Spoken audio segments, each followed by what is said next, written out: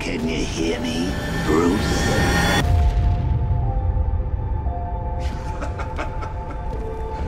I fully intend to kill you. But first, we're gonna make you suffer. You're not dying.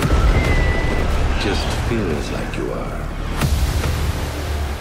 Some things you can't do alone, Bruce. And some things you have to. You're trapped. There's nowhere to run. Who said anything about running?